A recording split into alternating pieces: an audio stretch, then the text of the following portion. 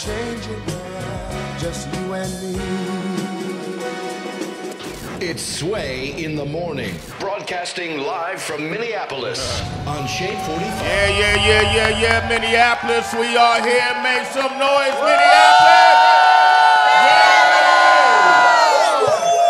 You, you know, This is nice here being at the Icehouse. The kitchen is open. You waiting on them shrimp and grits, right? Oh, yo, I've been waiting on shrimp and grits for about 90 minutes now. What we doing? Oh, come on, Calloway. Delayed gratification is I okay. like that cornbread though. Did the, is the cornbread here? We got where Brian at? B. Where Brian? Where, we got where the cornbread at, bro? You, you It's don't- coming. You, are you the owner?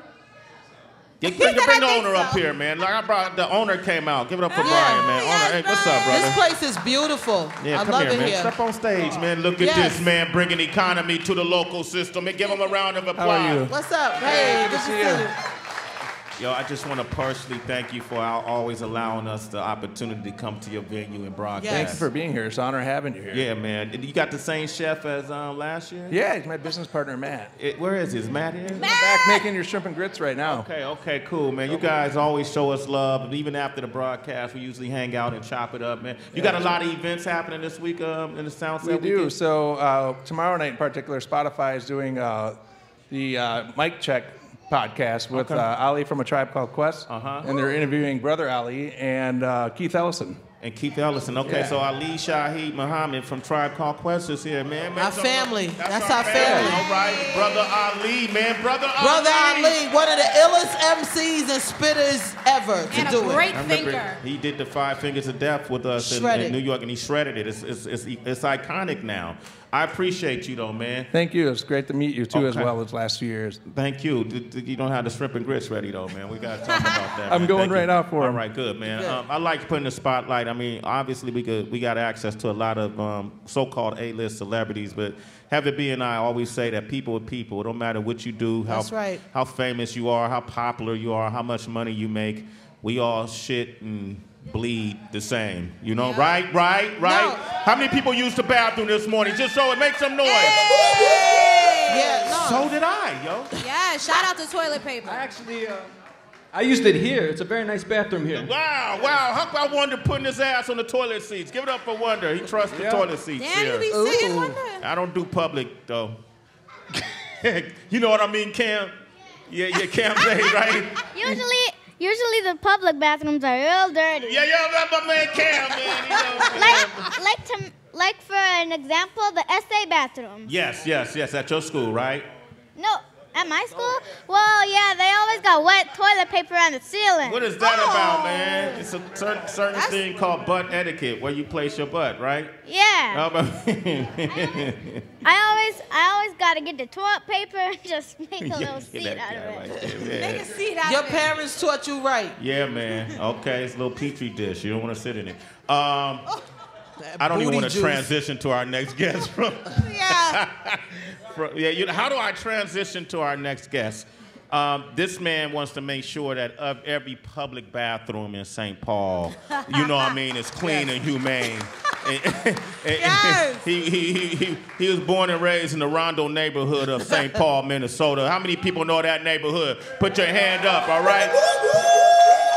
All right. Um, his parents were Ramsey County Commissioner and um, a retired police officer, but Oh, he's wow. been dedicated to this community. Just like Brandon, he's a mathematician. The man has a mathematical brain, uh, and he has accomplished something that's never been accomplished before. He's the first African American mayor of St. right. Paul. Give it up for Mayor Melvin Carter, ladies and gentlemen. Hey. That's right.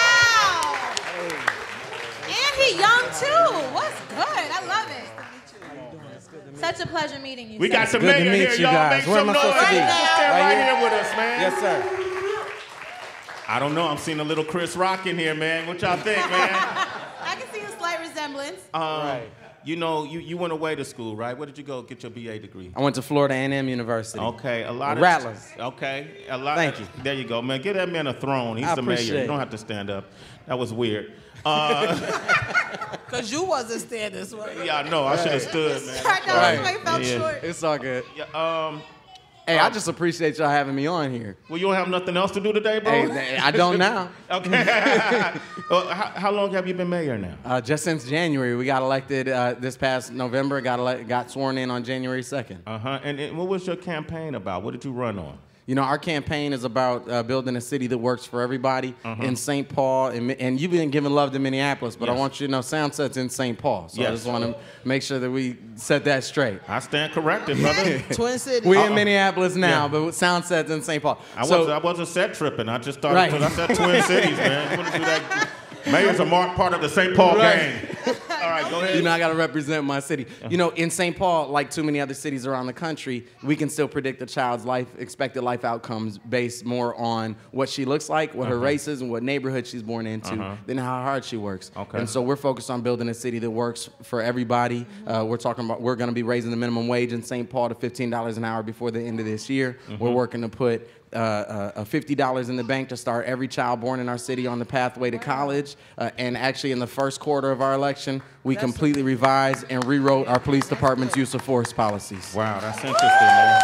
Um, Mayor Carter, what I would what I would like to talk with you about, and I'm wondering if it's important here as well. One of my ways of trying to give back without being preachy is talking to some of the young men in my neighborhood and that approach me about the importance of staying out of trouble. Because as Wintana mentioned, when you do get a record and you do get locked up, your voting rights are right. removed from you, and I feel like that's just a system to try to stop us from voting. Um, on the local level, how important is it here in St. Paul and Minneapolis to vote? What is the turnout on the local level? Yeah, it's important on every level. And you know, when you get to the lo- most local level, the turnout goes down a lot of times. But I'd share with people all the time who your city council member is, who your school board member, who your mayor is, uh, has a more direct impact on your Judge day to day life.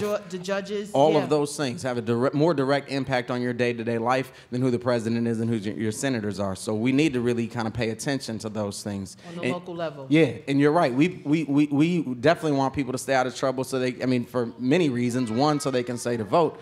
Uh, but we also have to change that. So I'm a part of a group of folks in this state. I know Wintana is too. Yeah. Who are saying we need to make sure that everybody in our community has the right to vote, and having a felony conviction on your background is not a good reason to exclude people from voting.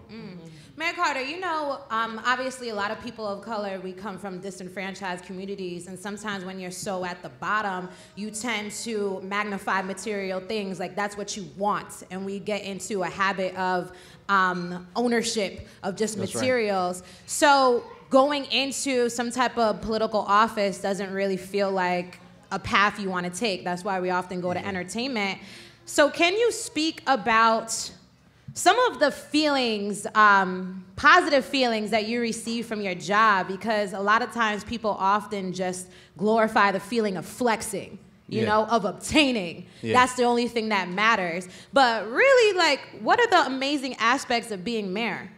It's amazing every single day. We have a great team, but the thing that's most amazing to me is the amount of energy that exists in our community. You know, after I after I won, I was uh, walking my children to school one day. I was walking back across the bridge, and there's just a brother walking across the bridge with his headphones on. He looked at me, pulled his headphones on. He said, "Hey, you're the mayor, man. That's a big deal."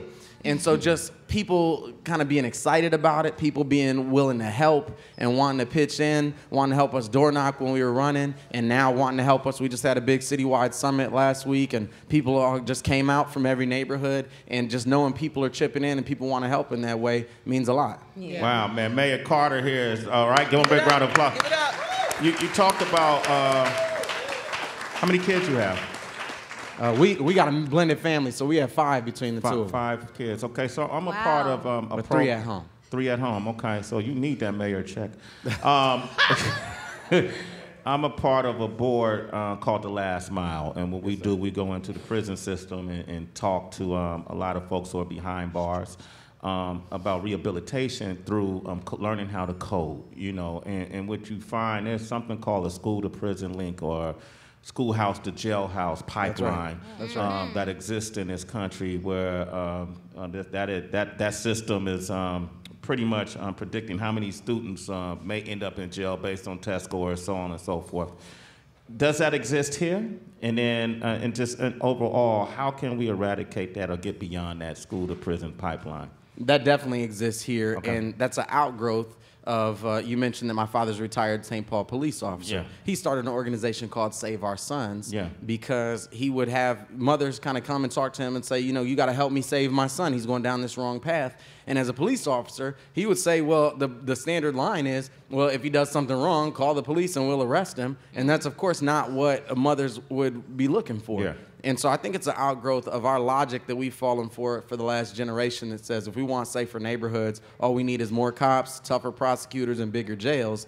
That logic has failed us over and over again, and we just keep doubling down on it. So we've built in our office what we call our community first public safety plan that says our, our, our public safety strategy is about connecting young people and their families to opportunity. It's about making sure that we're a safe and welcoming community uh, for people who re-enter our community from incarceration. Uh, it's about investing in the trust, not the us versus them thing, Yeah. but the trust that exists between officers and our neighbors. That's why we started from day one revising our use of force policies. Uh, and it's really about just creating safe environments where we're all safe and we're less likely to have to call the police in the first place. I like that. Mayor Melvin Carter, man. Look, I know it's a lot of people from St. Paul and Minneapolis. That's right. Uh, and, and I don't want to set, I want to get in between y'all. I'm here to bring you together.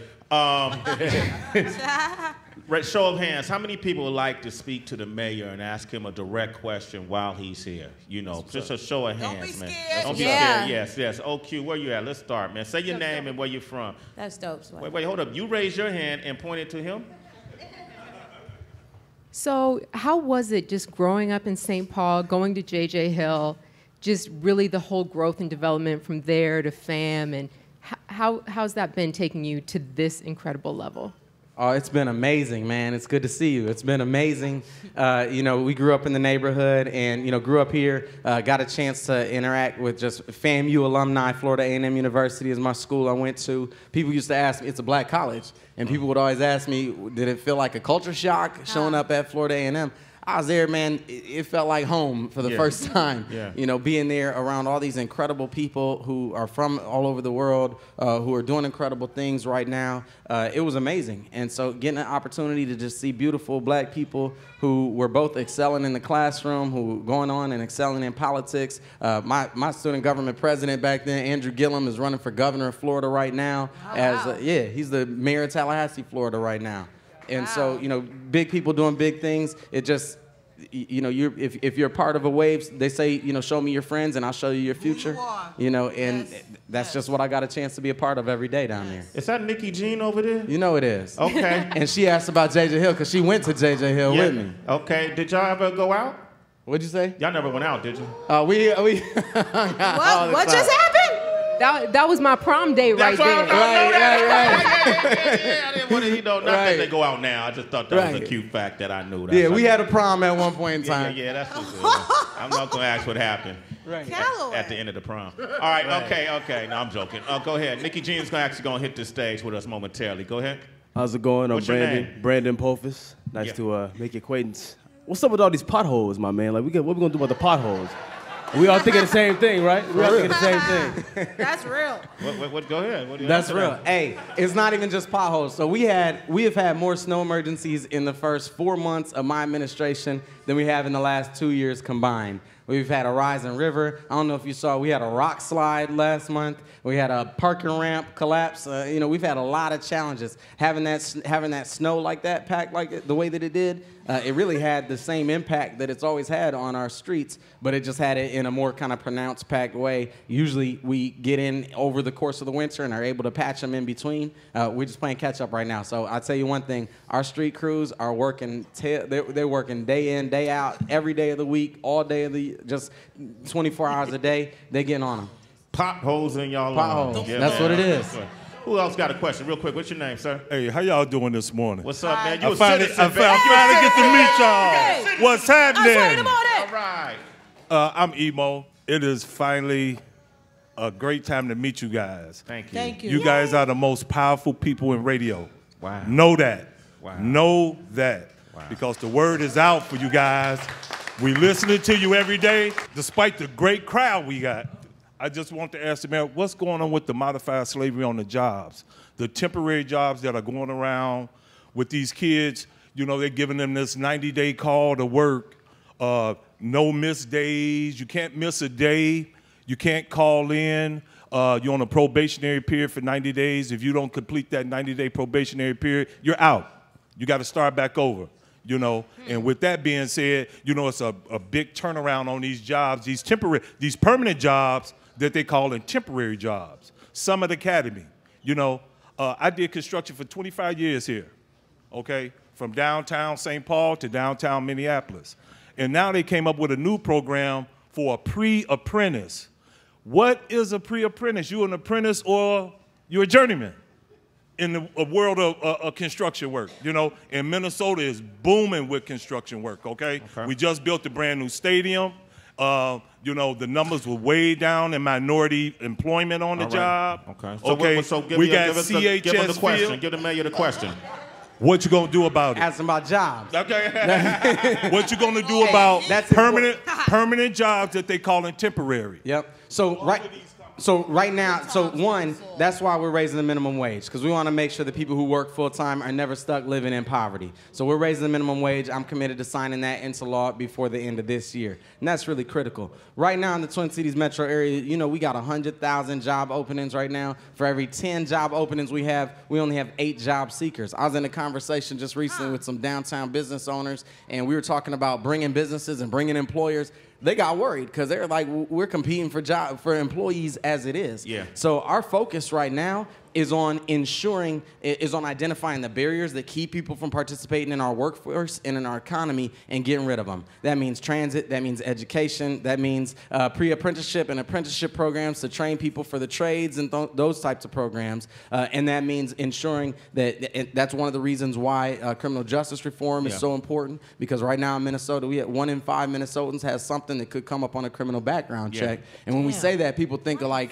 axe murderers and stuff like that. But we know 80% of the people we're talking about are nonviolent drug offenders. Right. You know, Yeah. uh, and so you know, we just can't continue to field a competitive regional economy while disenfranchising 20% of our potential workforce from the workforce. So we're focused on making sure work pays. We're focused on eliminating the barriers, and we're focused on economic development because we're building a stadium right now in St. Paul, and we have actually two once in a lifetime opportunities right now. We are redesigning uh, over two 100 acre neighborhoods right now from the from from the ground up. So we have a lot of opportunity. We got to prepare people now for it. All right. Okay. And they're fixing up the potholes. And we're fixing the potholes. Any of these young dudes up here got a question? Go ahead. Get, get, get this guy right here. What's your name, man? I'm Ken Vale Buchanan, and I was just gonna ask, how many uh, loops did you have to come through to become the mayor? Hmm. How many loops? Yeah. All, all day, every day. you know. Was it, was Uh, it hard?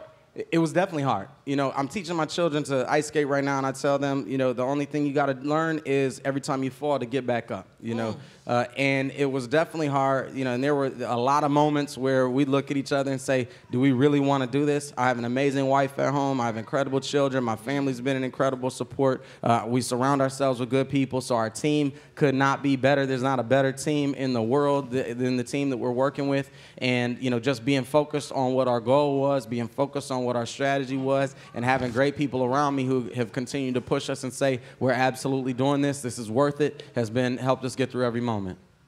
All right. Two quick questions, real quick. Heather Yes, B. sir. and then Tracy G. Really quickly, Mayor Carter, I, thank you, young man, for your question because I Yeah. wanted to direct this towards the youth. It, um, do you have a volunteer program? Because I feel like a lot of times young people do want to get involved and they just don't know how. They hear the word politics and it's just like, I don't want to get involved in that. Is there a system or a program set up where young people can come volunteer to say maybe vote for you next term? Because I feel like part of the reason why you are extremely successful is because you lived here, you've been a part of the community, you understand and you speak the language. But we want to see a young man like this doing the work as well right. in five years and in 10 years. So, do you have a program where young people can start being involved in the political system here? Yes, thank you for the question. Mm-hmm. you know, like I said before, you know, I'm in love with municipal, the local politics politics, I'm just in love with because while Washington D.C. is in par- par- par- paralyzed and they just argue th- over things all day long, you know, we don't have time for that. At the local level, when people are in trouble or something's going wrong, we got to Yeah. send the ambulance, we got to send a firefighter. You know, Yeah. we got to apply, we got to fill those potholes as we discussed earlier.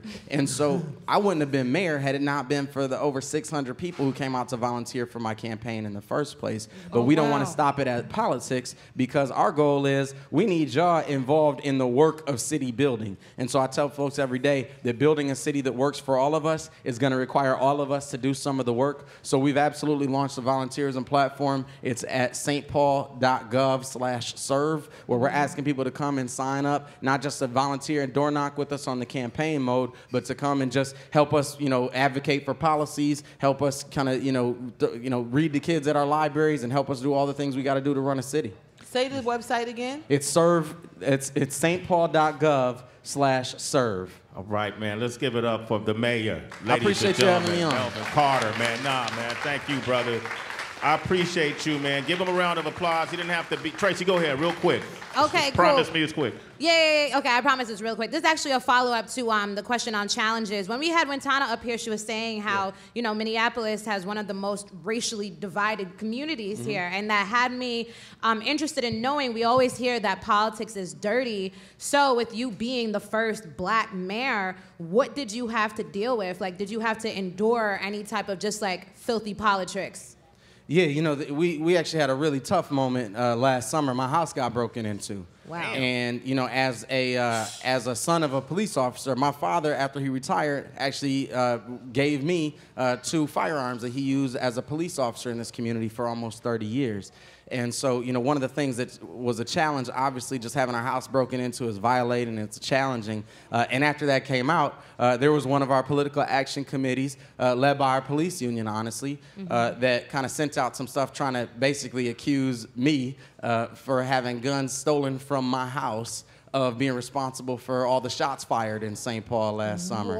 Whoa. And so we had to deal with that. And, you know, the, luckily, the, the beautiful thing about this city is, you know, if there were 10 or 15 people involved with trying to come with that attack, there were probably 100 or 1,000 people who just showed up at our campaign office, who just brought donuts out of the blue, who came to volunteer, or who came to give money, or decided they were going to vote to say, we don't accept that type of politics in our city, and they're going to support the movement that we were building. All right, cool. You know, um, I want to hear from o- other folks too. Not, not- you know, I want to hear from some white folks in the community too about what are your, what's your perspective? How was the experience here in turn? We talk about racial divide, Yes. but not everybody has the same experience. Can somebody speak up? Put their, just put the mic in somebody's face, oh Q, and let's see. Can, can you speak to that at all? Like, what is Little your, Kim, what you is your, can't vote yet, what's little your, Kim. what's your name, man? Uh, my name my name's Drake, but uh, I don't want to break your heart. I don't even live here. Okay, who lives here? Go to, to your left, oh, to your left. Yeah. Hey, what's up, Sway? What up, brother? How How you you doing? doing? My man, my yeah, man. what's up? What up, brother? Got, glad I could make it. My name's Daytime. Uh, I grew up in Atlanta, Georgia. I grew up around everybody. I went to middle school with everybody, and as soon as I moved here, it was like a whitewash. Uh-huh. Like I didn't see a soul that wasn't like just pasty, and it like freaked me out because growing up in that environment, I mean, it's it's healthier for everybody. Uh-huh. It's really unhealthy to have neighborhoods over here, neighborhoods over here. That's right. And then try to clash it with with no, with the no. There's no Understanding, There's no, no understanding. There's no, no empathy, guidelines. no- yeah, yeah, yeah. We're we're just kept separate, and there's I don't think anyone's trying to do anything about it. At least Yeah. that's I've been here for ten years, and I haven't noticed one difference. Yeah, yeah. So, and, one. and, and what you, what, what's your ethnicity? I'm Polish. Okay, good. All right, cool. And that's why we Yeah. come here to kind of, you know, mesh it all because you see a lot of folks of different ethnic backgrounds here, and I want everybody to have an opportunity Absolutely, to, to have a voice up in here. That's what that's what our that's really what we do here, man. We're just a conduit to really bring people together through understanding. We utilize entertainment, we mm-hmm. utilize music and all these big name artists or whatever that come on the show. But they're just a carrot to get to this point where you got a mm-hmm. mayor out here who who just came. He could have been doing anything today, but he wanted to speak to the people and touch the people. He's beyond a politician. This is a human being that cares about his community. Keep that in mind when you mm-hmm. go to vote and you go to these midterm elections and all these local elections. That this is a man that's in the soil with you right now. That you could actually touch his hand. He He doesn't have the most expensive suit on, but he looks great. You know. but he out here. I'm just joking. I'm joking with him. Sway Calloway. joking with him. Hey, this is nice, man. no, no, Come you got a nice. suit. I'm joking with you, but the point is. Sway hating on you. No, Don't no, worry. right, Yeah, right, he- right. I love mad. him. No, I the love Warriors man. lost last night. Yeah, he feeling some type of way. Is that what it is? Yeah, Yeah, he- he's don't, so hurt. Don't, that what don't, it is? don't talk to people out here about losing playoff They fall games. hard though, right? All right, okay. Please, please, please. But but that's that's what this is all about. And I agree with you that the segregation has to stop. Yes, all that is I just agree. political uh, bullshit to keep That's people right. divided. It, Yeah. that That's means right. nothing. Like That's right. even it gets to a point where it should be to, to a point where the cut complexion of your skin shouldn't mean anything. It's just the um, it's really the results of your actions and how you perform as a human being. We Sway, haven't can I jump the- in and say one thing on that, you? man? Please, sir. So, you know, you- you're absolutely right. Too often we end up kind of stuck in our little corners or in our neighborhoods. Uh, we're doing something in St. Paul right now that we call Bridges to Borders, uh, uh, and just saying, or, I'm sorry, Borders to Bridges, uh, where we're saying, you know, we want to connect people across neighborhoods. And the reason we're having this conversation is because, you know, there's a lot of us who oppose Trump's border wall. Trump mm-hmm. wants to build a wall between the United States and Mexico, but you can't just say that if you allowing all of the walls that exist in your neighborhood and in your city and in your school, wherever you're at, to just go on unchallenged. And so our goal is to just challenge people everywhere we can to just cross those walls, cross those borders that exist between neighborhoods, that exist between races and languages and ethnicities, between low income folks and higher income folks. We gotta start getting engaged with each other. We gotta start getting to know each other. Yeah. That's the way we get out of all this mess. And it'll be just like this. Look at everybody around you. That's everybody right. look at everybody That's around right. you. Look to your left. right. Left. Please look to your left. Look to your right. us. It's beautiful. everybody Talk to 'em, up in here, Talk man. to This 'em. is beautiful. If you standing next to somebody you don't know, shake their hand. Look at them real quick. Look, Oh, look. yes. Shake their hand, man. Exchange that love, it. that Oh, Q, respect. look behind you. Tell a man who doesn't on, live here. Shake your hand. There you go. Shake your Look at hand. little Cam, Sway. Okay, we got an eight-year-old. We got an eight-year-old that wants to ask a question. Oh, give little Cam, give little Cam the mic. Little Cam is And then this will be the last question, and Nikki Jean is gonna come up here. My question is, like, do you work with the National like, Guard and like, like, do you like hire army people? Like, help hire army people? Like, pick out the best, like people for the army? oh, the National military, Guard? ex-military. That, that- that's a great. How old are you? Eight. Eight, man, that's a great question, man. And, and I'm gonna tell you this I'm only gonna be mayor until you're ready to be mayor, okay? So when you're ready to take over, you let me know, and we need you kind of stepping into this space, all right? Okay. All right. So the question was about military. So the city, we actually run the police department. So we don't necessarily run the military. That's a different thing that the federal government runs. You asked about the National Guard, that's at the state. But at the city, we have our police officers. And one of the things that's really important to us is to make sure exactly what you just said, that when we hire police officers, we hire people who know our neighborhoods, who we can like really trust in our communities, who treat us with respect, and who have a stake in our neighborhoods. And it, it kind of not just kind of soldiers who are in our neighborhoods patrolling, but people who are helping us create positive outcomes in our neighborhoods. My dad was one of those people for about 30 years, so I've seen what it's supposed to look like, and we are working really closely with our chief to make sure that every single police officer we hire is the type of person who's just like that in our neighborhoods. Thank you for that question, Cam. All right, give it up for Cam, young eight-year-old, care about the community. wow, that was good. That was a great question. Uh, uh, no, right. saw that, right? Mayor Melvin Carter, can you give out your info, uh, social media so people can hit you directly? Yeah, absolutely. It's just uh, uh, at Mayor Carter three. Uh, at Mayor Carter, the number three is on Twitter. Uh, hit me up there. We're on uh, Twitter, Instagram, Facebook. Uh, follow us, get involved, kind of get engaged with us, Yes. uh, and you know help us build a city that works for all of us. And I really believe that as we do that in St. Paul, as we do that in Minneapolis, as we do that in neighborhoods and cities across the country, that's how we do that for America. That's how we set ourselves ourselves right. man, when you run for national office, you got my vote, brother. All right? I appreciate okay, that. my man, Yeah, Mayor Melvin that's Carter, real, thank you for coming by, brother. All right, up next, we're going to talk with Nikki Jean. and Sway in the morning, Shade 4-5. We got a cipher. Come on. How many hyenas up in here? That's right, okay. Sway in the morning, Shade 4-5 Wonders.